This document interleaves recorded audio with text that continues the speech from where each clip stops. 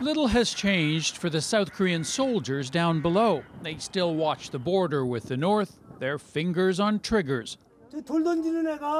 But civilians who come here seem to have an extra optimism in their gaze. Uh, you see the person? Yes.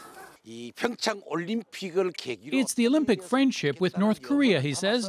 It feels like my dream of unification with that other part of Korea and of me. It's becoming real. For most South Koreans, this is as close as it gets. A glance across the frozen river into the frozen north, a border bristling with armaments and soldiers facing off against each other since the last time they fought almost seven decades ago. That's long left a yearning to reunite. In fact, it's an official national goal here. Now, though, the dream is being questioned as a delusion. In villages along the barbed wire border, seniors play cards and talk about nuclear threats from the north in hushed tones. Those are very scary people, she says. Believe me.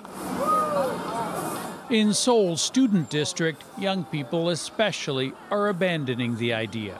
Polls say one in 10 South Koreans have stopped supporting unification in the past four years.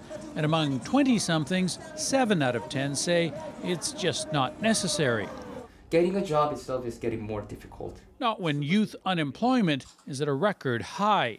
Jung Jung Won is an artist in his small basement flat. He says among his friends, the North holds no emotional appeal. People, my generation,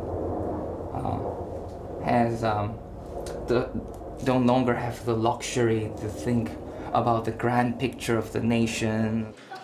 Besides, for Kim Jong Hwan, there are better ways to prevent war. I think the perspective of viewing the reunification is going to change in our generation, and we're going to um, imagine the different um, resolution to keep the peace between North and South. Meaning that by the time today's students are running South Korea, unification may well be seen as a naive old dream, and the North as a distant land having little in common. Sasa Petricic, CBC News, Seoul.